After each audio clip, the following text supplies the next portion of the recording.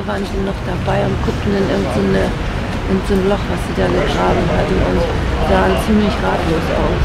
Also ich glaube, das sind auch, nee, nee, ist schon ein Tag, eine Woche her oder anderthalb. Ja. So, wo ich auch dachte, das sind, glaube ich, haben sie echt auch Dilettantenfirmen, wahrscheinlich die billigsten der billigen engagiert. Bei dieser Stromausfall ist ja auch Köhler von Bayern abgerissen im Namen des Gesetzes. Die Polizei steht zu. Wir machen aber Begleitschutz. Jetzt kommt der Rest weg, Peter. Normal. Halbe Stunde ist der Bagger eben wieder gekommen. Wir haben ja letzte Woche hier noch hier geboren. Extra aus, aus Der war ja geboren. Das hat überall vibriert. Hier bei uns. Wir haben hier unten passiert, die Gewerke. Ne? Deswegen sind jetzt in dem Haus alles Risse. ています。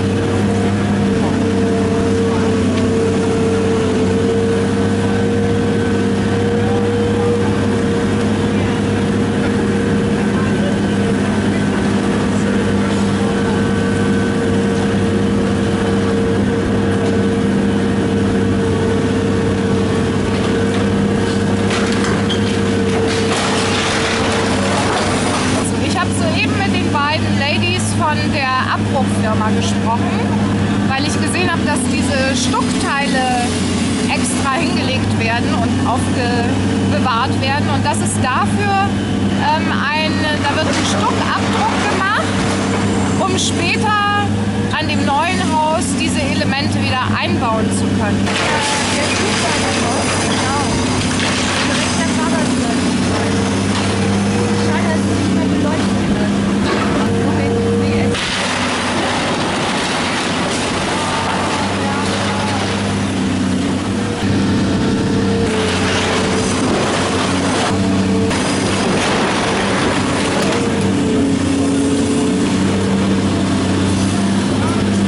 Auftritt in der Bild. Mit dir sogar. Ja, mit mir. Mit dem richtigen Gesichtsausdruck. Da sieht man gleich wie ganz jemand anders aus, oder?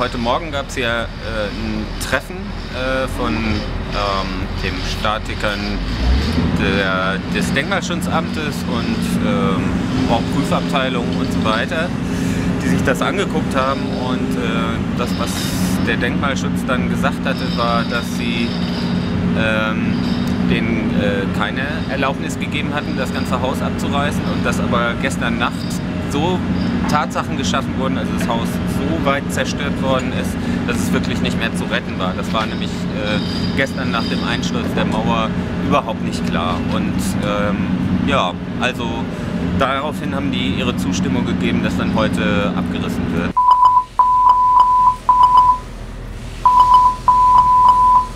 Hier, da, wo das obere SOS Wir finden es nötig, hier mal äh, deutlich zu machen, was in der Presseberichterstattung der ersten Welle am Freitag nicht rauskam. Hier stand an dieser Stelle vor zwei Tagen ein Gründerhaus von 1885. Genau genommen, wenn man sich jetzt anguckt, war das Haus sogar älter. Das ist 1885 umgebaut worden und um zwei Stockwerke erhöht worden. Das kann man jetzt leider sehen. Und ähm, das hatte eine sehr schöne Fassade, die, glaube ich, alle noch kennen. Es hängen jetzt hier schon ein paar Fotos an dem Zaun, wo man sieht, wie das Haus vor zwei Jahren aussah. Äh, das Haus war denkmalgeschützt. Bis vor kurzem, also bis November, lebten Menschen darin. Da war das Taylor's Inn, wo sich die tätowierten Männer des Stadtteils in kuschelig verqualmter Atmosphäre getroffen haben. In den letzten Wochen gab es hier heftige Ramm- und Ausschachtungsarbeiten an der Baustelle hier von Köhler und von Wagen. Die Wohnungen haben also auch noch sechs Häuser weiter gezittert, das weiß ich ganz genau. Und es sind auch schon Risse an anderen Häusern sichtbar, die durch diese Arbeiten verursacht wurden. Direkt neben dem alten Denkmal, Gründerzeithaus, ist an einer Tiefgarageneinfahrt gearbeitet worden. Es gab Ausschachtungsarbeiten und offensichtlich äh, keine genügenden Absicherungen. Also der Fachterminus ist Vernachlässigung der Bausicherungspflicht, wenn ich das genau zusammenkriege. Da ist erstmal die komplette Außenwand des Hauses in die Baugrube gerutscht. Bis dahin denkt man, okay, könnte ja vielleicht ein Unfall gewesen sein, könnte Absicht gewesen sein. Das ist alles zu diesem Zeitpunkt auf keinen Fall auszuschließen. Auf jeden Fall gibt es eine Verantwortung, die zusammenhängt mit der Art, wie das Gebäude gesichert wurde, wie die Bauarbeiten drumherum ausgeführt wurden. Es gab so Warnsignale, die die Fachwelt hätten warnen können. Ähm, so war zum Beispiel äh, der gab es so Absackungen des Gehwegbereichs. Es gibt auch äh, neben der Risse in der Nachbarschaft Gerüchte, dass das Haus schon vorher abgesackt sei. Das Haus war halt sehr, sehr alt. Also äh, das hat man offensichtlich unterschätzt oder nicht so wahrgenommen und vielleicht auch nicht als Wert wahrgenommen, wo man hier in diesen äh, Stadtteil investiert und Neubauwohnungen in großem Stil errichtet, die natürlich mit einer ganz anderen Kaliber hier in den Boden gerammt werden als das, äh, was man damals gebaut hat. Also das Haus ist eingekracht, äh, dann ging die Geschichte aber weiter. Und zwar äh, gab es dann sehr schnell, das war am Freitag um irgendwann zwischen 8 und 9 Uhr. Man kann auch von Glück sagen, dass keine der Schulkinder erschlagen wurden, die auf dem Bürgersteig da zur Schule gegangen sind um die Uhrzeit. Und danach gab es dann hier sehr schnell ein Treffen von Vertretern der Bauaufsicht des Bezirks Mitte, Statiker und Denkmalschutzabteilung. Da gab es dann eine Absprache und die Absprache sah vor, dass das Haus gerettet werden soll, dass da die Mauer wieder hingebaut wird. Man hätte das absichern müssen und es gab eine Erlaubnis, ein paar Stücke runterzunehmen, um den akuten Einsturz zu verhindern. Es gab auch eine Grenze, die man festgelegt hatte, nämlich äh, bis zum alten Treppenhaus, das noch vor der Hälfte des Gebäudes durch das Gebäude durchging. Das Haus war, hatte ja zwei Hausnummern. Am Abend, etwa um 17 Uhr, äh, haut Köhler und Verbagen eine Pressemitteilung raus, dass das Haus jetzt abgerissen wird. Das ist offensichtlich ohne Information der Denkmalschutzbehörde passiert. Bisher ist nicht rausgefunden, wer eigentlich diese Abrissgenehmigung erteilt haben soll. Das heißt, der nächste Schritt, um den es hier geht, äh, wäre dann, dass es sich hier um illegalen Abriss handelt. Jedenfalls wurde sehr rabiat dann äh, hier unter Scheinwerferlicht äh, mit einem sehr großen Bagger in großer Hektik gearbeitet. Das alles ist komisch oder zumindest eigenartig, weil dieser Beschluss sozusagen das ganze Haus abzureißen angeblich etwa um 4 Uhr fiel.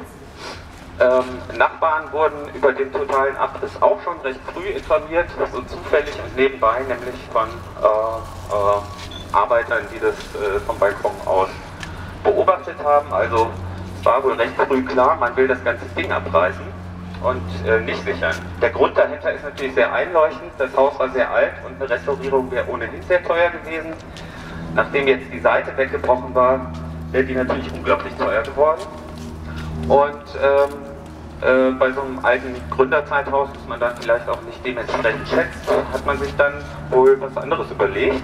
Als ähm, brast der Bagger sich hier durch. Es gab dann hier äh, viele Bürger, die es erstmal nicht fassen konnten, weil wir waren ja auch alle geschockt, konnten uns irgendwie auch nicht vorstellen, dass sowas dann einfach durchgezogen wird, äh, ohne dass das erlaubt ist. Es lief ja auch immer eine Dame von der Baubehörde rum und die war, machte aber so einen eigenartigen Aus Eindruck äh, war irgendwie nicht ansprechbar und es ist dann irgendwie gelungen, Menschen, äh, Zuständige vom Denkmalschutzamt, äh, die außerhalb der Stadt waren, eigentlich die Zuständigen, Freitagnacht ans Telefon zu kriegen, andere hierher zu bekommen und die äh, Abrissarbeiten erstmal aufzuhalten. Am nächsten Tag gab es dann eine weitere Besprechung frühmorgens und äh, der dann extra angereiste Zuständige musste dann eben äh, sich das Haus angucken und hat gesagt, so, jetzt ist es so weit kaputt gegangen und das ist dann eben erst im Nachgang passiert, das Haus so weit zerstört, dass man es tatsächlich nicht mehr verantworten kann, Leute da reinzuschicken, um die kümmerlichen Reste zu schützen und von da aus das dann neu aufzubauen. Dabei wollen wir das auf keinen Fall belassen. Äh, das ist jetzt so ein extrem heftiger Eingriff hier in das Viertel in die historische Bausubstanz. Es ist genau eins der Häuser gewesen, für die es Zusagen gab, dass alle Leute, die da drin wohnen, äh, zurückziehen können und die gleichen ähm, Bedingungen bekommen. Die äh, hatten also zehn Jahre Mietsicherung in einer modernisierten Wohnung. Damit haben die Investoren äh, Pressearbeit gemacht. Das ist von der Politik sehr stolz vor sich hergetragen worden. Man muss aber sagen, dass es hier irgendwie auch eigenartige Voraussetzungen gibt. Im Moment in der Politik in Hamburg, wie sie abläuft. Ähm, wir hatten ja vor gut einem halben Jahr ein Gespräch mit der Senatorin für Stadtentwicklung. Da waren Leute von Lob dabei und von den Esso-Häusern. Und wir wollten über diese Themen sprechen. Wir hatten ja hier im Viertel einen äh, Plan gemacht, äh, wie sich hier mit dem Bestand äh, vorsichtig umgehen lassen könnte, wie man dann vorsichtig Dinge dazu baut und wie man behutsam sozusagen mit der alten Substanz umgeht und gleichzeitig was Neues da drin passieren lässt. Das wurde damals brüsk vom Tisch gewischt und ähm, das ist so ein bisschen der Stil, in dem hier gearbeitet wird. Ähm, es ist halt erstmal vom Genehmigungsverfahren schon mal komisch, dass hier bebaut wird in einer Dichte, die es und in der also Dichte einmal von der Wohnfläche, die entstehen soll, als auch von der Dichte, wie, die, wie dicht die Häuser aneinander stehen. Das sind alles äh, Ausnahmeregelungen. Also es sind alles äh, Sachen, die außerhalb des Bebauungsplans, ähm, Befreiungen vom Bebauungsplan nennt man das, die hier erlaubt worden sind, damit äh, hier ordentlich viele neue Wohnungen entstehen können.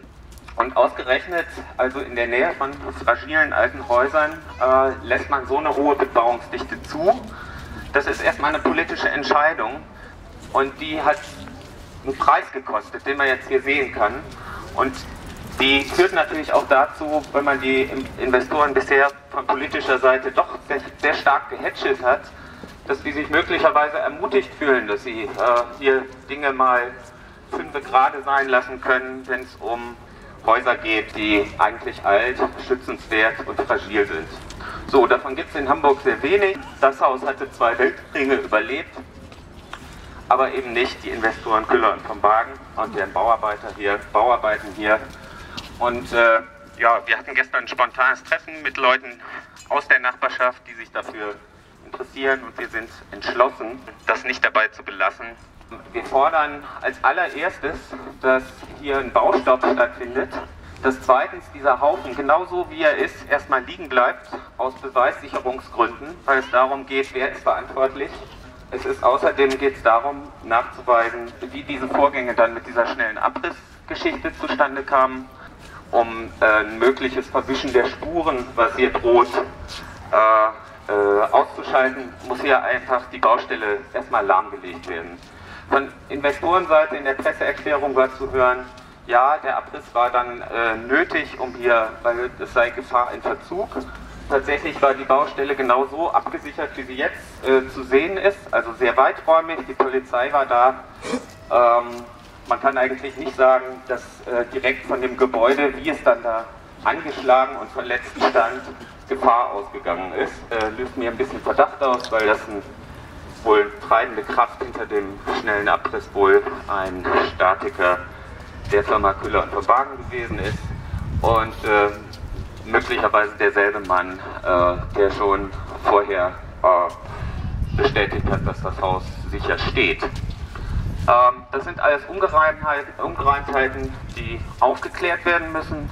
Ich bitte einerseits hier alle Nachbarinnen und Nachbarn darauf zu achten, dass hier gar nichts mehr bewegt wird.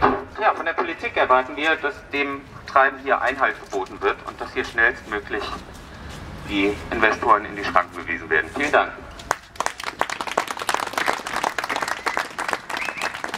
Äh, so ein abgerissenes Haus, ähm, das hat man schnell vergessen. Vielleicht war ja auch das Zweck der Übung. Äh, dafür sollten wir sorgen, dass das nicht so schnell passiert.